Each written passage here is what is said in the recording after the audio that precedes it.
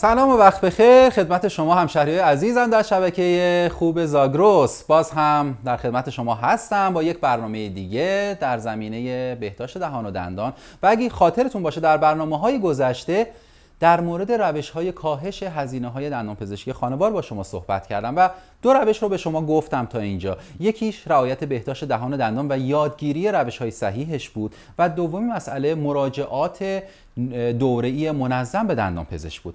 امروز با روش سوم در خدمت شما هستم. روش سوم چیه؟ روش سوم بحث انجام درمان های با کیفیت و خوب هستش. یعنی چی؟ یعنی که من می‌خوام به شما بگم عزیزان من نسبت به محلی که برای درمان دندانهای خودتون انتخاب می‌کنید حساس باشید و حتما در موردش تحقیق کنید. در همین شهر خودمون کرمانشاه تعداد بسیار زیادی دندان پزشک آموزش دیده مجرب و خوب داریم که می‌تونن بسیار خدمات خوبی رو به شما ارائه بدن.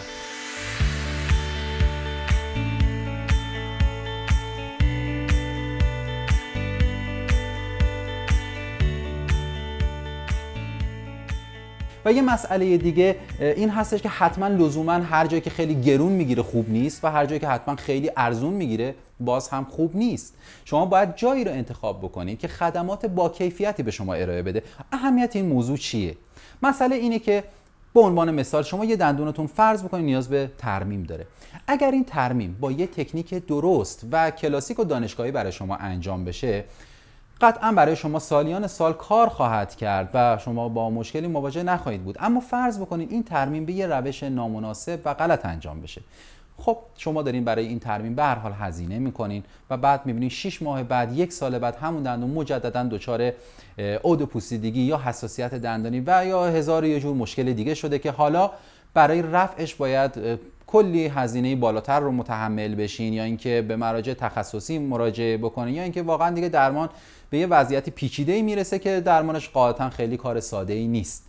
بنابراین من بهتون توصیه می‌کنم حتما حتما جایی که برای درمان انتخاب می‌کنید و روش حساس باشید با حساسیت انتخاب بکنید و اگر دندان پزشکی دارید که سالیان سال شما و خانوادهتون پیش اون دندان پزشک میرید و برای شما درمان انجام میده و ازش راضی هستید قدر دندان پزشکتون رو بدونید و ارز کنم که یادتون نره مراجعات 6 ماهه رو هم حتما پیششون برین و آموزش بهداشت رو هم ازشون بخواین. به امید اینکه همیشه خدا سالم باشین و لباتون خندان باشه. باز هم با برنامه بعدی در خدمتتون خواهم بود.